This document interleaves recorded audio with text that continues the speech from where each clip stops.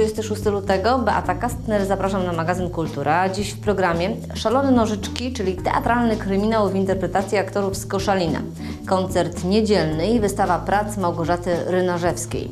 Na chwilę zajrzymy na koncert Bluskwy w akcencie oraz podglądać będziemy ferie w mieście. Będzie też kolejne zaproszenie na grudziącką wiosnę teatralną. Zapraszam. Szalone Nożyczki, komedia kryminalna rozgrywająca się na teatralnej scenie, gdzie w rolę detektywów wcielają się sami widzowie. To tytuł, który znalazł swoje miejsce w Księdze Rekordów Guinnessa jako najdłużej grane przedstawienie w Stanach Zjednoczonych. Nic więc dziwnego, że konwencja spodobała się również w Grudziądzu, a spektakl oglądać mogliśmy w wykonaniu Bałtyckiego Teatru z Koszalina.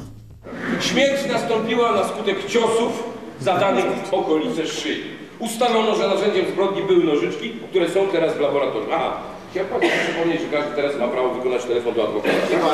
Ale zaraz, zaraz, zaraz, co? Zamierza pan aresztować kogoś z nas? Nie, jeszcze nie. Zanim zacznie się tu cokolwiek interpretować, przede wszystkim szalone nożyczki to jest materiał bardzo rozległy, więc y, przed interpretacją jest opanowanie tego materiału i mm, wielu możliwości. Jest to scenariusz, który w wersji podstawowej ma 130 stron, zakładając, że jest oparty o improwizację, tak? Więc to jest tylko baza sama, więc y, no, najpierw opanowaliśmy, że tak powiem, materiał fabularny i wszystkie alternatywne możliwe wydarzenia, które tutaj mogą nastąpić, a dopiero później, mając tą swobodę, musieliśmy zacząć to próbować y, od razu, grając całościami, próbując improwizować i szukając, ale szukając tak naprawdę ten spektakl rozwinął się w momencie, gdy pojawili się pierwsi widzowie, bo dopiero wtedy można powiedzieć, że powstały jakieś takie rysy konkretne, yy, które odróżniają te szalone nożyczki od innych szalonych nożyczek. Dopiero tutaj pojawiły się nasze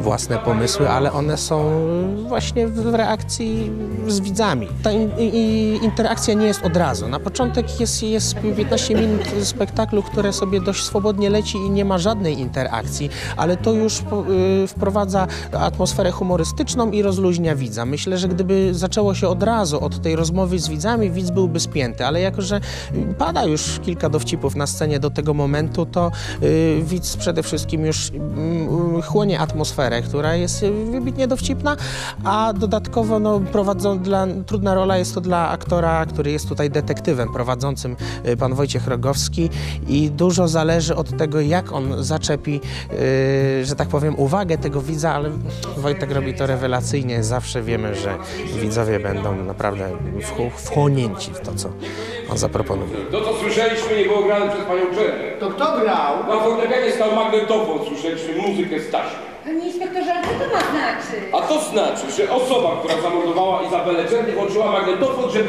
upozorować, że grała tenatka. Skłamałbym, gdybym powiedział, że są to łatwe spektakle, ponieważ widz może nas zaskoczyć i, i jest to na pewno nieobliczalne, ale z drugiej strony taki spektakl to też jest coś w rodzaju nagrody dla aktora. To jest jednak niesamowita zabawa i, i, i możliwość brania udziału w takim projekcie to jest, jest y, no coś, co nie zdarza się aktorowi codziennie i tak naprawdę za coś takiego to się dziękuję y, raczej, bo, bo naprawdę i warsztat improwizacyjny i aktorski, który można sobie tutaj rozwinąć, ale także przyjrzeć się wielu innym mechanizmom rządzącym teatrem, no daje naprawdę, nazwę to bardzo duży poligon doświadczeń.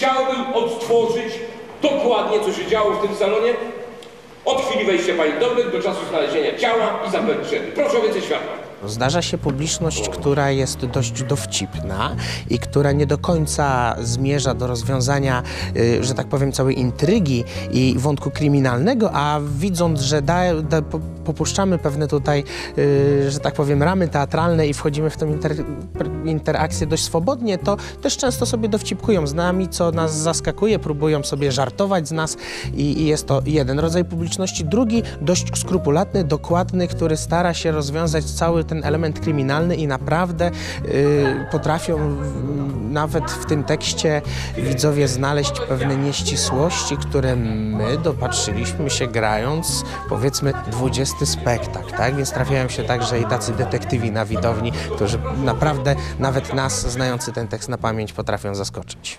No tak, przypomniałem sobie, że źle zaparkowałem samochód i wyszłem z salonu. Czy Pan Wurcel wyszedł z salonu? Z salonu wyszedł? Wyszedł z salonu, ale gdzie pan wyszedł? Do łazienki, tak?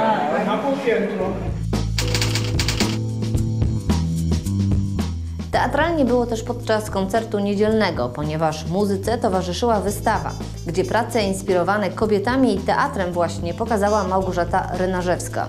Tu warto dodać, że fascynacja ta jest nieprzypadkowa, bowiem pani Małgorzata przez wiele lat pracowała w teatrze w Poznaniu, gdzie tworzyła kostiumy. Mimo, że zmieniła pracę, to miłość do sceny pozostała.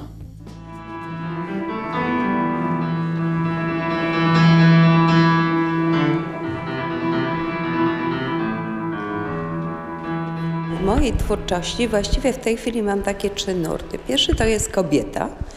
Yy, I te kobiety najczęściej są właśnie w, w takiej pozie teatralnej, ze względu na to, że yy, one powstawały bezpośrednio po mojej pracy w teatrze. Ja pracowałam około 8 lat w teatrze.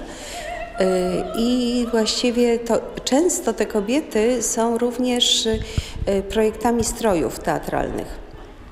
Także one y, i wybierając jakby w momencie, kiedy dostałam od pani Ewy zaproszenie do sali teatralnej, to stwierdziłam, że właściwie trzeba pokazać to, co jest związane z teatrem. Y, Drugim takim nurtem są obrazy bursztynowe. One są malowane żywicą. Tutaj właściwie mamy dwa takie obrazy jako próbkę. I oprócz tego w tej chwili y, rzuciłam się na taki nurt abstrakcyjny, y, który dostałam propozycję, będę pokazywać w Grudziądzu w przyszłym roku. Małgorzata Rynarzewska mówi o sobie, że tworzy od zawsze i chociaż może zabrzmieć to banalnie, to nigdy nie potrafiła znaleźć sobie miejsca. Szukała różnych środków wyrazu. Na początku wcale nie była to twórczość plastyczna.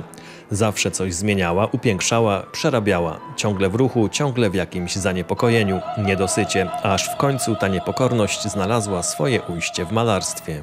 To malarstwo chyba zawsze ze mną chodziło.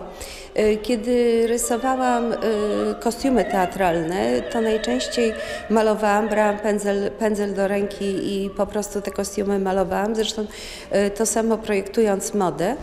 I w pewnym momencie właściwie moja y, taka droga do malarstwa była bardzo śmieszna, ponieważ spotkałam się z, y, z panią, która y, tutaj niedaleko, bo w Bydgoszczy pracowała w teatrze z Olą Symianowicz.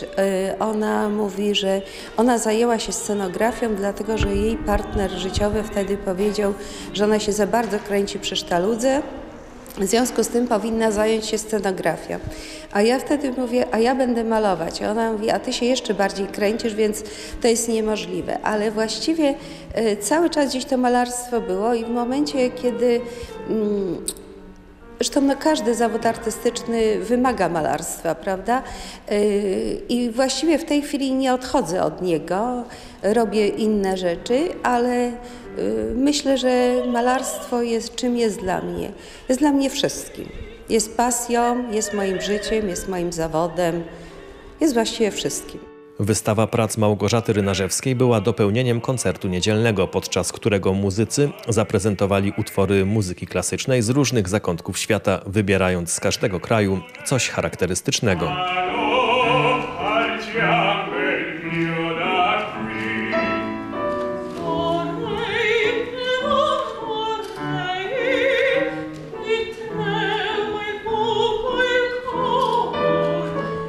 Podczas koncertu zabrzmiała innymi bliska naszemu sercu muzyka słowiańska. Obok polskich kompozytorów pojawiły się tu również utwory z Czech, Rosji i Słowacji. Przed publicznością wystąpili sopranistka Marcela Wierzbicka, tenor Szymon Rona, solistom akompaniował grudziącki muzyk Tomasz Gust.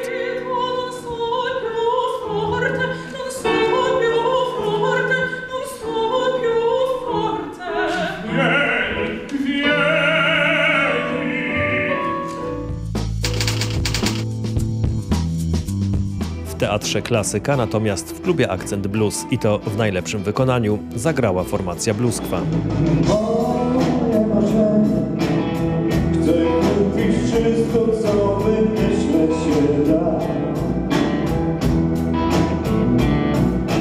Grupa na grudziąckiej scenie muzycznej istnieje już od 15 lat. Koncert jubileuszowy planowany jest jesienią, a do tego czasu pracować będą nad płytą, gdzie znajdą się innymi ich autorskie kompozycje. Nie zabraknie też standardów bluesowych, które zabrzmiały podczas piątkowego koncertu. Panowie po raz kolejny udowodnili, że muzycznie są w doskonałej formie, zatem pozostaje nam czekać na płytę. Ludzie się ze mnie śmieją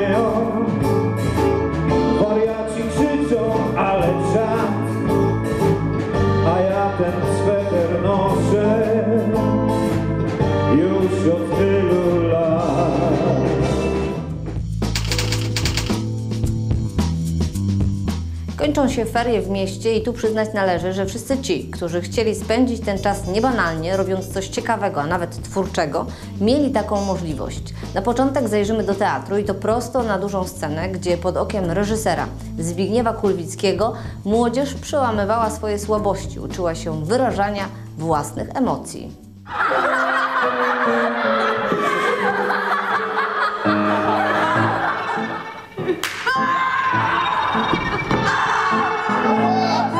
Jestem pierwszy raz na tych warsztatach.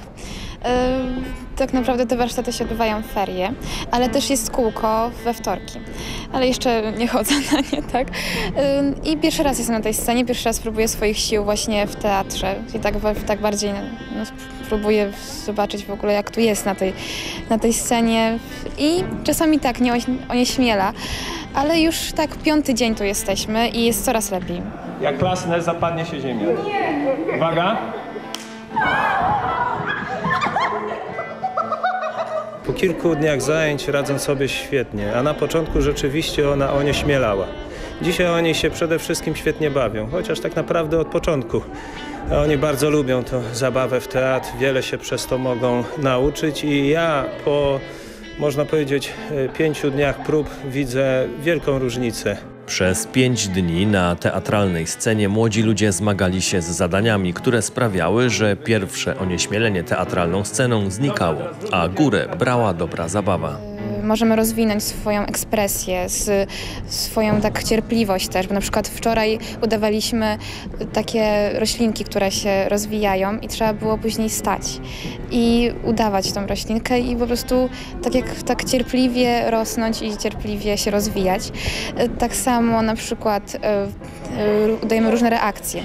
Na przykład oglądaliśmy, uda, czyli udawaliśmy, że oglądamy film, na przykład horror i trzeba było y, się przestraszyć, trzeba było y, się rozpłakać, trzeba było y, się zaśmiać. Na początku wiadomo, że zawsze jest trudno, ale to jest tak świetna atmosfera i tak można się dobrze bawić, że z każdym dniem jest coraz lepiej i z każdym dniem można coraz bardziej się otworzyć. Przede wszystkim oni nauczą się e, nie wstydzić wyrażać swoich emocji.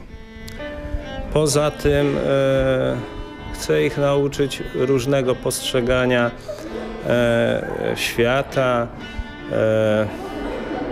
Właściwie, że na dany problem można patrzeć z różnych stron.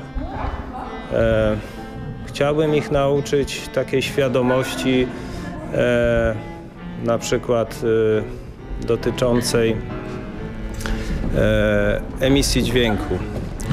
E, a to nie jest taka prosta sprawa posługiwania się zawodowo i dobrze swoim głosem. Tego, że istnieje coś takiego jak podparcie, to, że no właśnie, i to się wyczuwało od początku. E, Sami widzicie, jak oni się zachowują, jaką mają potrzebę bycia na scenie i to jest chyba najpiękniejsze i to podsumowuje właśnie te warsztaty. To widać, czego oni się nauczyli. Po prostu potrafią się świetnie bawić i, to jest, myślę, takie podsumowanie tych warsztatów.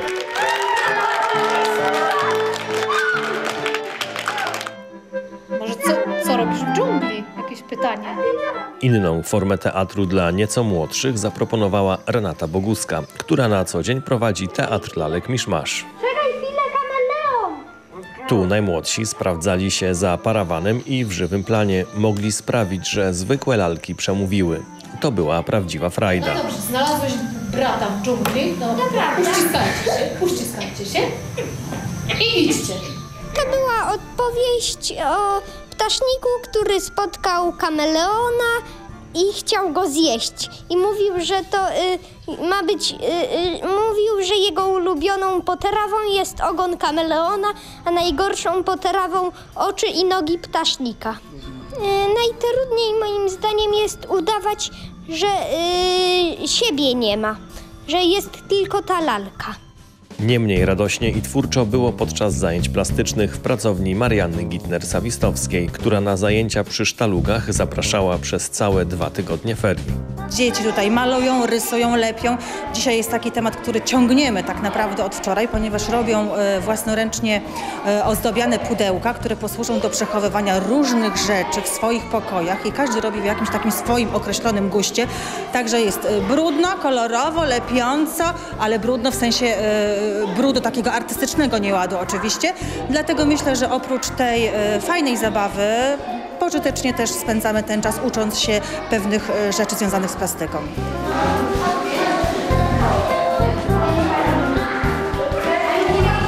Maluję pudełka. No malujemy, ale to jest, nie jest trudne. Proste. No wczoraj było takie trochę. y, No, będziemy tam różne rzeczy przechowywać. No, Skarby domowe, a jakie to będą skarby? no jeszcze nie wiem. No ja też nie. Najpierw szkicuję, a potem mm, tak robię, żeby było dokładnie. Mm, To jest autobus. Dlaczego autobus? Mm, Bo wybrałem, bo przewodzi ludzi. Z teatru przenosimy się do muzeum, gdzie sztuk plastycznych również nie zabrakło. W końcu miejsce zobowiązuje. Mariusz, Mariusia, Wola Listosz. Podczas tegorocznych ferii dużym zainteresowaniem cieszyły się warsztaty czerpania papieru, ale także archeologiczne opowieści oraz zajęcia ja mogę zostać malarzem. Dla nieco starszych dzieci przygotowaliśmy zajęcia wędrówka po makiecie, które również cieszyły się sporym e, powodzeniem. E, W drugim tygodniu ferii uczestnicy brali udział w zajęciach e, przygotowanych przez Gildię Działań Historycznych Alte Knochen, Tajemnice życia w XVII wieku w Polsce. Te zajęcia również e, zyskały spore grono odbiorców. w wszelkiego rodzaju zajazdach, karczmach cały czas noszono szaty. Tutaj od fachowców młodzi ludzie mogli dowiedzieć się wielu ciekawostek dotyczących czasów, które kojarzą się z historiami baśniowymi lub już poważniej lekcjami historii. Zatem o czym opowiadali? Jak się żyło? No to już tradycyjnie. Jak się walczyło? Z czego słynęła Polska? Skąd się wziął w ogóle polski strój, ten taki charakterystyczny dla XVII wieku? No, można opowiadać godzinami. Dziewczyny bardziej są pierwsze, że podnieść rękę, że chce przymierzyć, zobaczyć e, pistolet. Chłopacy siedzą, nie wiem skąd się to bierze, jak takie, no, no siedzą, no. Się interesują, ale, ale bardziej siedzą. W piątek o 11 w muzeum odbędzie się podsumowanie ferii. Dla uczestników warsztatów przygotowano niespodzianki, nie zabraknie drobnych upominków. Ludzie zwykli nie mogli sobie na za dużo pozwolić. Na koniec pozostaje jeszcze kilka wspomnień z ferii w bibliotece. Tu również propozycji nie brakowało. W każdej z filii i w gmachu głównym codziennie przed południami można było uczestniczyć w zabawach i konkursach. W dziale dziecięcym Biblioteki Głównej zastaliśmy dzieci przy zabawie Bajkowe Wielkoludy. byli e, było Zakopane, e, były też e, śmieszne bajkowe postacie. Odwiedził nas również e, Gieksik. E, dzisiaj z kolei mówimy o e, bajkowych wielkoludach, czyli takich e, dziwnych dziwolągach, które występują e, w bajkach, e, ale przede wszystkim o słoniu. Dzisiaj też praca e, plastyczna, e, jak widać frekwencja dopisuje. W filii numer 13 odbyło się przedstawienie w wykonaniu teatru Zaczarowany Świat z Torunia. Była to legenda o smoku wawelskim. Opowieść nieco uwspółcześniona dała dzieciom wiele szczerej radości. Bucik piękny. O! Wstążka prawie gotowa. Uwspółcześniamy troszeczkę tę legendę, y, staramy się trochę mówić takim językiem, jakim dzisiaj dzieci mówią, chociaż y, sam tekst jest wierszowany, ale y, jakby pomysł na, na cały spektakl jest troszkę może bliższy współczesnym czasom i jest to rodzaj takiej zabawy też w teatr. Opowieść o tym, co można z lalkami zrobić, jak, jak taką historię zbudować. Gramy dlatego, ponieważ jesteśmy zaproszeni zapraszani i mamy świadomość, że w takich miejscach y, rzadko y, dostępny jest teatr, a teatr bardzo mocno wiąże się z literaturą y, i biblioteka jest specjalnym i, szczególnym miejscem, gdzie teatr wspaniale, jeżeli może zaistnieć, bo może pokazać no, tą stronę literatury. Konserwy!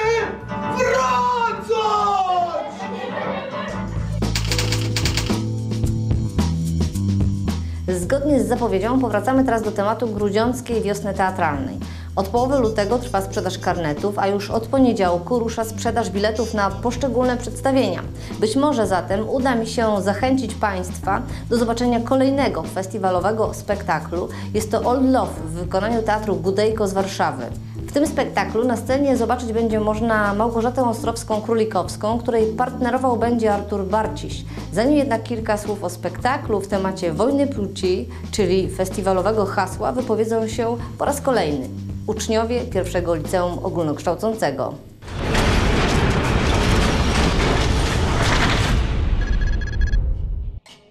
Czy istnieje miłość od pierwszego wejrzenia? Istnieje. Myślę, że istnieje, tylko trzeba zajrzeć głęboko w oczy. Czasami jak patrzymy za płytko, to dostrzegamy wszystkie wady, bo dopiero głębiej poznamy, poznamy prawdziwe wnętrze człowieka. Czy istnieje miłość od pierwszego wejrzenia? Miłość nie, zauroczenie tak. Jak zdobywa się kobietę? Ha. Ojej, nie mam pojęcia. E, Mężczyzna przyciąga moją uwagę. No, osobiście moją uwagę przy- przyciągają mężczyźni, którzy są raczej niedostępni, w jakiś sposób tajemniczy, zamyśleni. Taki typ romantyka. Ale oczywiście jest wiele kobiet, które wolą mężczyzn bardzo otwartych, e, bardzo towarzyskich, które, którzy bardzo je adorują. No, to jest bardzo indywidualna tak naprawdę sprawa. Każdy ma, swoje własne, każdy ma swój własny gust, także to jest zależne od kobiety. Jak zdobyć kobietę, która nie zwraca na ciebie uwagi? Hmm. Nie mam pojęcia. Pieniędzmi, wdziękiem, naprawdę nie wiem. Osobiście uważam, że mężczyznę, który nie zwraca na nas uwagi, e, nie ma sensu zdobywać. Powinnyśmy znać swoją wartość i jeżeli e, nie jesteśmy dla kogoś ważne, nie ktoś na nas e, nie zwróci uwagi, to nie ma sensu robić tego na wszelką cenę, za wszelką cenę. Kobietę, która nie zwraca na mnie uwagi, jak ją można zdobyć? Na pewno jakiś sposób jest, no ale jeśli nie zwraca uwagi, no to w sumie czy warto się starać? Pierwsza miłość idealizujemy ją. No, w sumie zależy jak patrzymy, bo jak jest to nasza taka pierwsza i pierwsze spotkanie z kobietą, to widzimy w tej osobie wszystko co najlepsze i nie dostrzegamy wad. No a potem jak spodoba się ktoś drugi, to odrzucamy tą osobę. Pierwszą miłość zawsze idealizujemy, ponieważ nie mamy punktu odniesienia do poprzedniej, z której moglibyśmy wyciągnąć e, wiele wniosków. Dlatego ta pierwsza dla nas zawsze jest tak pamiętliwa e, i tak ważna. Pierwsza miłość, czy, ide- czy idealizujemy? Myślę, że tak, że podchodzimy do tego z sentymentem i zawsze chcemy trochę to podkolorować. No wiadomo, żeby było fajnie. Tak, uważam, że miłość na całe życie istnieje. Widziałam wiele osób, e, na przykład moje, bab moje babcie, dziadkowie. E, ich miłość przetrwała nawet po tylu kłótniach, których, e, które odbyli, albo nawet po tak trudnych sytuacjach, a więc uważam, że miłość na całe życie jak najbardziej istnieje.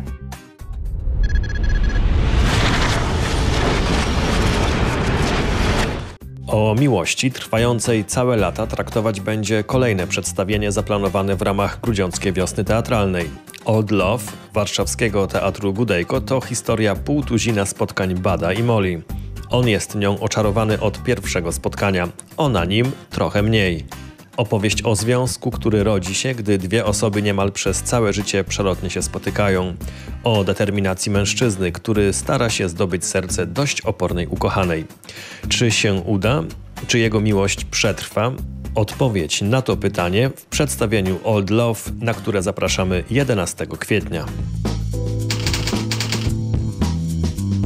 Krzysztof Dałgrzewicz to wszechstronny artysta, satyryk, felietonista, tekściarz, poeta, piosenkarz, gitarzysta i kompozytor. Już od wielu lat bawi miłośników ironicznego humoru dzięki niezwykłemu zmysłowi postrzegania nonsensów i niuansów otaczającej nas rzeczywistości.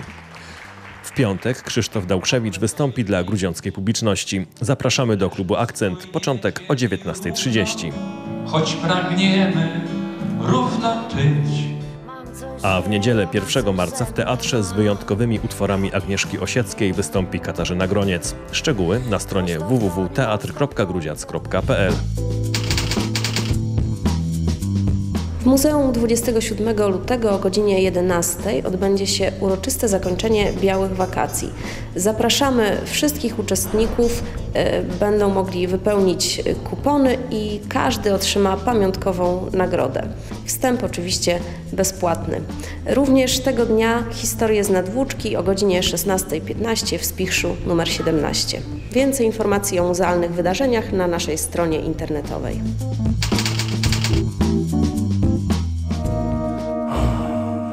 Marzec muzycznie zaczniemy w klubie Akcent koncertem rockowym zespołu Ma.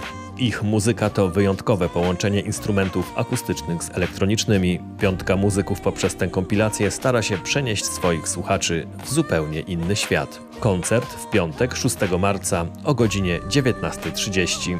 A już wkrótce Julia Wikman w repertuarze innymi Bułata Okudżawy, Anny German czy Czesława Niemena. Zapraszamy. Dziś to już wszystko, no prawie wszystko. W niedzielę w teatrze polecam Państwu koncert Katarzyny Groniec i dla widzów magazynu Kultura mam jeszcze jedno podwójne zaproszenie i to właśnie jest to zaproszenie. Dziś nie będzie żadnych pytań, wystarczy zadzwonić w piątek w samo południe o 12 pod numer telefonu 56 46 209 24. Tymczasem mówię już do widzenia, widzimy się za tydzień po 17.30.